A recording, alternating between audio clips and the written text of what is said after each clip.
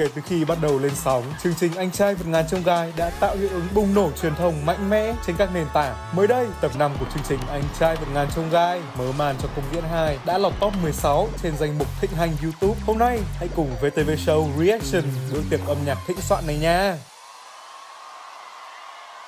Chủ đề của các anh tài trong công diễn 2 đó chính là lời nhắn từ vũ trụ. Để đối diện với trông gai lần này, các nhà cần phải thành lập liên minh hợp tác. Vì tắc khi thành lập liên minh là cứ hai nhà sẽ sát nhập thành một. Như vậy, 8 nhà sẽ thành lập được 4 liên minh. Mỗi liên minh phải trình diễn hai tiết mục, gồm có một tiết mục vocal, một tiết mục perform. Thành viên của một liên minh phải trình diễn ít nhất một lần và mỗi tiết mục không được vượt quá 6 thành viên. Cũng trong đêm công diễn này sẽ có những anh tài đầu tiên phải ra về. Là chế độ đấu tranh sinh tồn đã bắt đầu từ đây. Ở đêm công diễn một các nhà đã thể hiện rõ sở trường cũng như định hướng của mình. Nên tập này, các anh tài thành lập liên minh khá nhẹ nhàng và nhanh chóng. Nhà hát và nhà ngũ hành là hai nhà đầu tiên liên minh thành công. Một nhà có khả năng vocal tốt và một nhà có khả năng sân khấu tốt thì sự liên minh của hai nhà này quả thật là một sự tính toán an toàn. Các xương rồng là nhà có số điểm cao nhất trong đêm công diễn một có vẻ ở lần thành lập này anh Tài lại không được chào đón cho lắm. Thay vào đó, nhà Xuân Hạ Thu Đông mới là nhà có giá nhất, được săn đón nhiều nhất và có nhiều lời mời gia nhập liên minh nhất. Tuy nhiên, bằng sự mà tha thiết khẩn cầu, mong muốn, khao khát, mong chờ và hy vọng. Nhà Xương Rồng đã xuất sắc đánh bại nhà Đam Mê và nhà Kaka để được liên minh cùng nhà Xuân Hạ Thu Đông. Bên cạnh đó, nhà Tài Sinh có anh Tài Tiến Lật với khả năng vocal tuyệt đỉnh. Anh Tài Tự Long đã mau chóng đặt hàng từ khi anh Luật còn nên liên minh cuối cùng gọi tên nhà Kaka và nhà Đam Mê. Sau khi bốn liên minh được thành lập, các cái tên độc đáo ra đời lần lượt là Liên minh Cửu Long, Liên minh Phát Tài, Liên minh Kame và Liên minh Tinh Tú. Sau khi các nhà đã thành lập liên minh, từng liên minh sẽ biết được điểm hỏa lực của mình và tiến hành đấu giá bài hát. Cứ tưởng trận này sẽ có ít trông gai hơn. ấy thế mà cũng làm khó cho các anh tài của chúng ta ra phết đấy. Mỗi liên minh sẽ phải đấu giá hai bài hát, một bài thiên về giọng hát và một bài thiên về trình diễn. Ở vòng đấu giá đầu tiên, các liên minh sẽ đưa ra tên bài hát yêu thích cùng với một số điểm hỏa lực nhất định. Do đã có kinh nghiệm chinh chiến lần trước, các liên minh đều có sự lựa chọn rất nhanh chóng và các bài hát thiên về trình diễn cũng lần lượt được bán đi. Tư tưởng lớn gặp nhau, liên minh tinh tú và phát tài đều muốn rước mắt sắp, gót hồng và cao gót. Những tưởng chiến lược đấu giá thông minh của mình sẽ mang đến thành công vẻ vang cho anh em. Nhưng không dù ở nhà tài sinh hay ở liên minh tinh tú anh tài tiến luật cũng lại đưa đội mình đi thắng vào lòng đất với khả năng phán đoán chật lất của mình. Mấy đội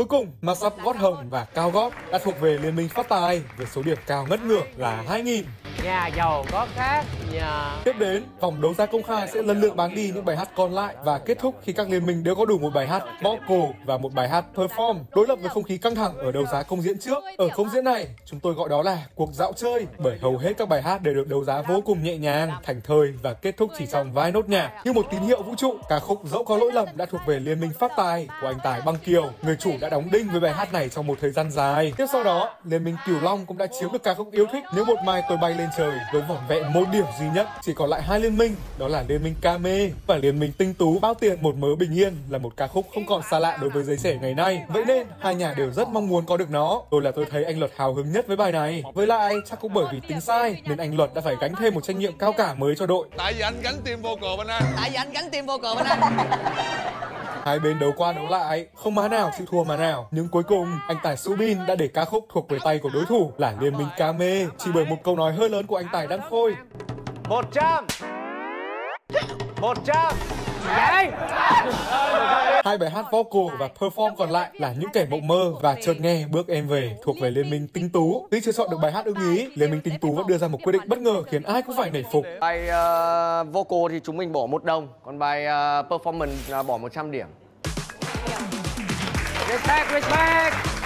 Cái cần nhất lúc này chính là phần lựa chọn thứ tự biểu diễn. Luật chơi đã thay đổi. Nếu công diễn đầu tiên chỉ có một lượt bình chọn, thì công diễn thứ hai số lượt bình chọn đã tăng lên, trở thành hai lượt bình chọn với hai phần biểu diễn. Sau khi đổi qua đổi lại quanh co, thì thứ tự biểu diễn cũng đã được chốt lại. Liên minh nào cũng có màn giới thiệu đều, đẹp, chuẩn chỉnh. Chỉ riêng tới liên minh này cứ lạ lắm. Tinh tú trời cao làm vương miền xa.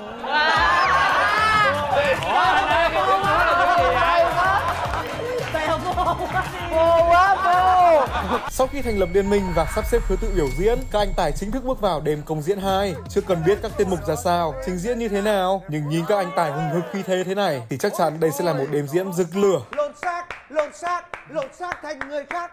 Yeah. Chúng tôi đến đây là để Đỉnh nóc kích trần bay phấp Mở màn đêm diễn là màn giới thiệu đậm chất riêng của bốn liên minh. Đại diện liên minh phát tài là anh Tài Đăng Kiều. Phát tài thì các bạn sẽ phát lộc. Đại diện liên minh tinh tú là anh tài đinh tiến đạt tú trời cao làm vương miền xa đại diện liên minh cửu long anh tài yun phạm nổ ngay một tứ thơ tung hoành trong gai. Chỉ cần khán giả thương hoài tập nào cũng top 1 là 33 anh tài tụi em vui. Rồi đại diện liên minh ca mê là anh tài cây trần kém cạnh với các liên minh còn lại anh tài cây trần cũng có màn giới thiệu cực ấn tượng với đoạn rap cực cháy. Các anh đừng vội cười hả hê. Để cất giọng ca lên làm mê khiến các em gái phải thốt lên là ca mê sa rang hê. Mạnh miệng ngông nghênh tẹo chứ rap xong là Dạ em xin lỗi mấy anh Dạ em xin lỗi mấy anh Đêm công diễn 2 có chủ đề lời nhắn từ vũ trụ với luật chơi rất khắc nghiệt. Bốn liên minh, mỗi liên minh sẽ trình diễn hai tiết mục chia làm hai phần của đêm công diễn. Kết thúc mỗi phần, khán giả sẽ tiến hành bình chọn. Mỗi khán giả đều bình chọn cho hai tiết mục mà mình yêu thích. Điểm hỏa lực cuối cùng của mỗi liên minh là tổng điểm của hai lượt bình chọn. Liên minh có điểm hỏa lực thấp nhất sẽ trở thành liên minh nguy hiểm và có 3 thành viên phải rời chương trình. Xem chừng cuộc chơi ngày càng gay cấn và khốc liệt hơn rồi đây. Mở màn công diễn 2 là liên minh Kame. Chúng tôi đến đây không phải để đùa mà để chơi. Để luyện tập cho đêm công diễn 2, các anh Tài Liên minh Kame đã bàn bạc rất kỹ về ý tưởng trình diễn để có phần trình diễn ấn tượng nhất bởi không ai muốn liên minh của mình phải rơi vào vòng nguy hiểm. Cái công này cho về sau mình sẽ thêm rất nhiều ý kiến và mình không muốn cái cái liên minh của mình bị một ai rời đi cả. Sau khi tranh luận và thống nhất, Cách Trần và các đồng đội quyết định kể câu chuyện về hai khía cạnh xấu xa và lương thiện trong xã hội. Không phải là chúng ta chỉ ngồi đó mà chờ sung rụng, mà chúng ta cũng phải cố gắng để kết hợp một cái cách tốt nhất. Các thành viên tham gia trình diễn tiết mục giàu sang gồm có Cây Trần, Liên Bình Phát, Nguyễn Trần Duy Nhất, Phát Đình Tùng, Tăng Phúc và Sơ Trong Trọng Hiếu. Mở màn tiết mục, anh Tài Liên Bình Phát rap cực chay về giao diện như một đại ca xã hội. ai cũng muốn có nhiều tiền ai cũng muốn hào và thực sở như tiên chưa kịp hết bất ngờ anh tài nguyễn trần duy nhất chấm tính thường ngày hôm nay phải nói là cháy hơn cả chiếc áo sơ mi đỏ anh mặc Xem đến đoạn này thì phải nói thật là chúng tôi quá ấn tượng với dàn dựng sân khấu của chương trình. Ngỡ như đang xem MV ca nhạc, được hậu kỳ kỹ càng rồi chứ, không phải live trực tiếp. Anh Tài Phát Đình Tùng đây khi chất như một ông trùm. Ôi trời, quá đỉnh! Anh Tài Liên Minh Phát thể hiện khả năng múa côn chuyên nghiệp. Thế này là hiểu anh Tài quyết tâm thế nào. Anh Tài Nguyễn Trần Duy Nhất ngày hôm nay vừa được hát, vừa được thể hiện thế mạnh võ thuật. Anh Tài cay trần và strong trọng hiếu, giữ vững phong độ, thể hiện giọng hát và khả năng vũ đạo chuyên nghiệp. Nghe nói anh Tài Tăng Phúc đã gặp vấn đề về sức khỏe trước đêm công diễn, thế nhưng anh Tài đã có một phần trình diễn rất trọn vẹn. Sau anh Tài với màn nhảy cực lôi cuốn, kết thúc phần trình diễn mở màn. Bằng âm nhạc và câu chuyện truyền tải thông điệp tích cực, đây quả là tên mục mở màn tràn đầy năng lượng với sự phối hợp ăn ý, nhuần nhuyễn của các anh Tài.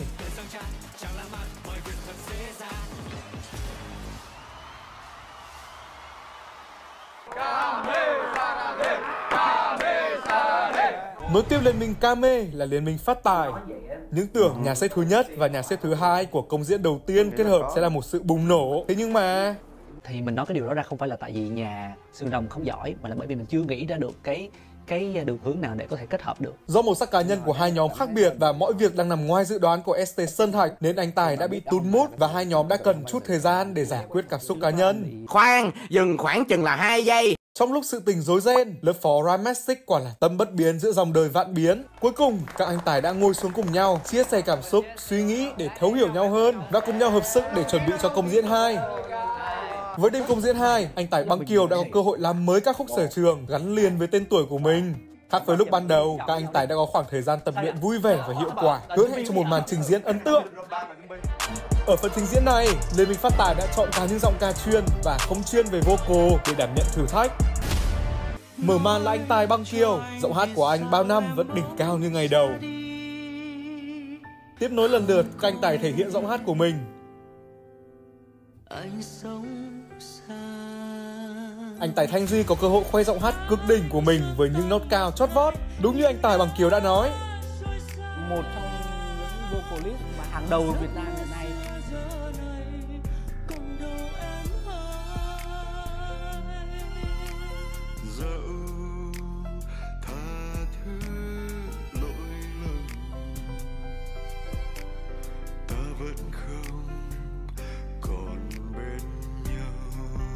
Anh Tài Binz với khả năng rap đỉnh cao, verse rap ấn tượng của anh mang đến một bầu không khí và tinh thần rất mới cho ca khúc. Với phần trình diễn này, Liên minh phát tài đã truyền tải thông điệp tình yêu của dẫu có lỗi lầm bằng concept phi hành gia vào vũ trụ. Sáu anh tài hóa thân thành những phi hành gia điển trai bày khắp ngân hà để tìm lại tình yêu bản thân đã đánh rơi. Đôi giày thủy tinh tượng trưng cho tình yêu, dù người yêu có ra đi nhưng đôi giày vẫn ở lại như tình cảm còn vấn vương.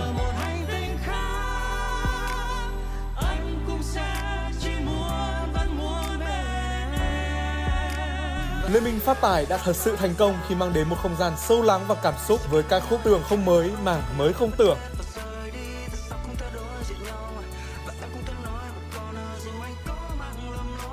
Kết thúc phần trình diễn là màn hòa giọng đỉnh cao của 6 anh tài khi khán giả thực sự phải thốt lên, đây là dẫu có lỗi lầm phiên bản premium.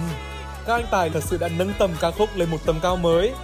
ấy thế nhưng mà, câu chuyện của các phi hành gia liên minh phát tài và đôi giày thủy tinh vẫn chưa dừng lại ở đây. Mọi người nhớ chiếc những chiếc hài này nó sẽ đi đâu với chúng tôi lên vũ trụ nhé. Thật sự là háo hức phần trình diễn tiếp theo của Liên minh phát tài quá đi. Phần trình diễn thứ ba đến từ Liên minh Cửu Long. Để chuẩn bị cho phần trình diễn ấn tượng, Liên minh Cửu Long đã có hẳn một cuộc họp hội đồng quản trị để bàn về ý tưởng trình diễn cướp dâu. Quả là một ý tưởng không phức tạp tí nào. Nghe thôi đơn giản rồi. Nghe Tùng vậy thôi đơn giản rồi.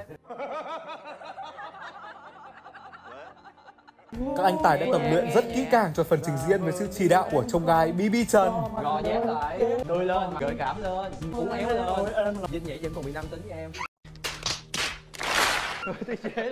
Trong quá trình luyện tập, anh Tài Huy R là người gặp nhiều khó khăn nhất về vũ đạo. Chính vì vậy, anh Tài đã rất quyết tâm và nỗ lực để chuẩn bị cho phần trình diễn. Các anh mất khoảng 30 phút là có thể nhảy hòm hòm các thứ được rồi vì phải mất khoảng 4 tiếng đến 6 tiếng. Ở phần trình diễn lần này, Liên minh kiều Long chọn ý tưởng gian dựng đậm chất châu Á. Sáu anh tài, BB Trần, Trương Thế Vinh, Chun Phạm, Huy Hà Lê và Kiên ứng hóa hiệp khách đi tìm tình yêu ngủ quên. Bắt đầu tiết mục là giọng ca trầm ấm đi thẳng vào tâm trí người nghe của anh tài Trương Thế Vinh. Tiếp đến, phần rap mê mẩn của anh Tài Hà Lê và Kiên ứng, Tun cứ phải gọi là tràn mang loa.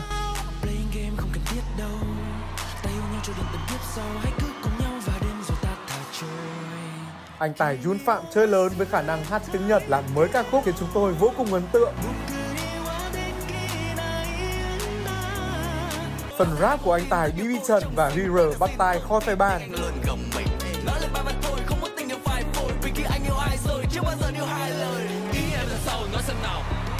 Có sống chàng trai em bảo em thốt lên là ôi chào với phần rap được anh Tài Ha Lê viết mới đầy thú vị và ẩn ý khi đào vận cùng mặt phối làm mới ca khúc tình yêu ngủ quên thì chúng tôi chỉ biết thốt lên rằng quá xuất sắc. Từ concept cho tới vocal của phần trình diễn đều rất chỉnh chu và không thể chê ở đâu được. Với một không gian huyền bí, sáu anh chàng hiệp khách đều muốn giành lại tình yêu của mình. ấy thế nhưng mà, dường như anh chàng hiệp khách BB Trần đã chiếm hết spotlight của cô gái mà các anh chàng thi nhau tranh giành với phần đu và xoay tròn trên cao. Có lẽ đến giờ thì anh đã quá quen với bệnh tiền đình rồi. Trong liên minh của em á, chỉ có một mình em là có tiền sử với bệnh tiền đình anh. Cho nên là mọi người muốn giúp em làm quen với chuyện mà treo trên cao qua vòng vòng vòng vòng anh. Kết thúc phần trình diễn là màn thể hiện vũ đạo cực quấn của các anh tài hiệp khách Nhật Bổn. Với thông điệp hãy đứng lên giành lấy tình yêu đích thực của đời mình, Liên minh Cửu Long đã khuấy đảo không khí sân khấu bùng nổ, bốc cháy hẳn lên. Có thể nói, ca khúc Tình yêu ngủ quên của Liên minh Cửu Long là một món cao lương mỹ vị của bữa tiệc âm nhạc xứng đáng để các bạn nghe đi nghe lại nhiều lần.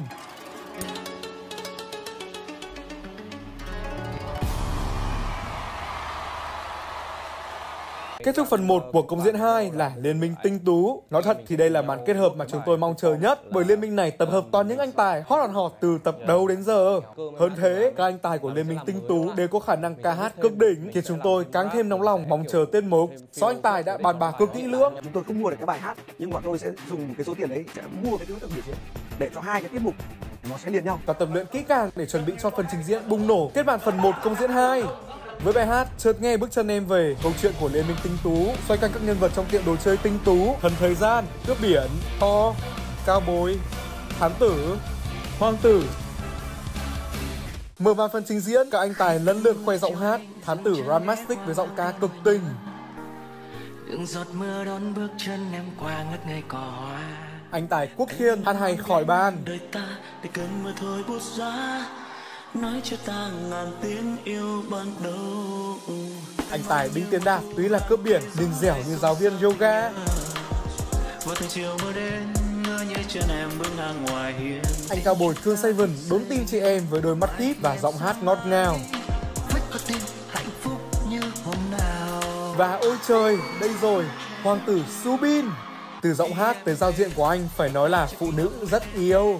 Thân thời gian tự lòng bật trèo thành rap nghe cực cuốn. có phép thần thâm tới để giá phép ngủ đông mỗi khi em về Xem tiết mục ra anh Tài lên mình tinh tú mà chúng tôi phải nhún nhảy theo vì quá hay. Không biết khán giả sao chứ xem đến khúc này tôi chỉ ước mình là chị Vũ Công. hồn nát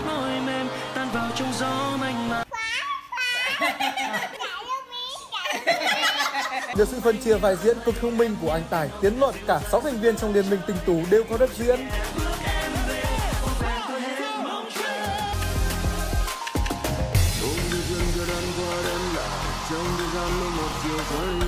Thân thời gian tự long với câu thần chú cũng chính là thông điệp của Liên minh tinh tú muốn truyền tải về việc trân quý thời gian, những khoảnh khắc bên gia đình, người thân. Phần kết chuyện ở tiệm đồ chơi tinh tú sẽ được tiếp nối vào hồi sau của công diễn 2, tiết mục Những kẻ mộng mơ.